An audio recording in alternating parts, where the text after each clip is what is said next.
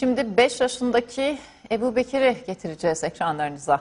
3,5 yaşındayken Ebu Bekir'e otizm teşhisi koyuldu. Ancak küçük çocuk ailesinin desteği ve rehabilitasyonla otizmden kurtuldu. Öte yandan bugün 2 Nisan Otizm Farkındalık Günü sevgili izleyiciler. Bu hatırlatmayla birlikte ve bu haberle birlikte bu saati noktalıyoruz. Saat başında gelişmelerle yeniden birlikteyiz.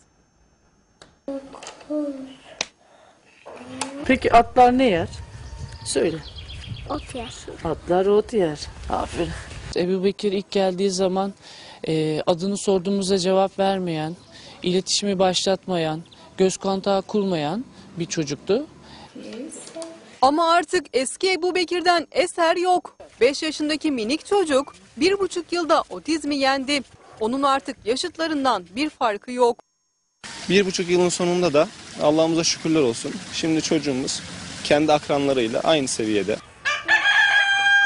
Ebu Bekir Özer'e 3,5 yaşındayken otizm teşhisi koyuldu. Çevresiyle iletişim kurmakta zorlanıyordu.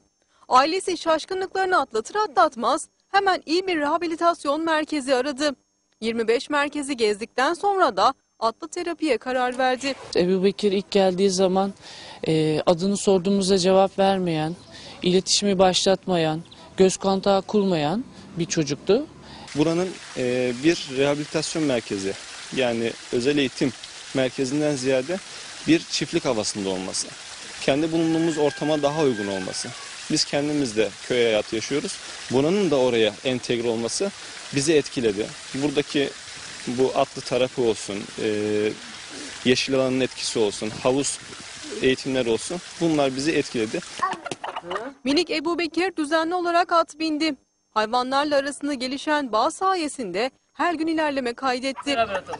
İlk önce e, davranış problemlerinin üzerine gidip daha sonrasında okul öncesi becerileri ve diğer becerilerle destekledik öğrencimizi. E, şimdi atla terapiyi kullandıktan sonra e, atın adını söyleyen, ata bindiğinde kendi adını söyleyen, atı da beraber top oynayacağını, ona ot vermemizi istediğini söyleyen, iletişimi başlatan bir çocuk oldu. Yüzde yüz etkisini gördük. Otizm tanısı da e, bizim uygulamalarımızdan sonra kalktı. Bir buçuk yılın sonunda Ebu Bekir otizmi yendi. O artık çevresiyle iletişim kuran, diyaloğa giren bir çocuk. Babası Muhammed İshak Özer de bu durumdan dolayı çok mutlu.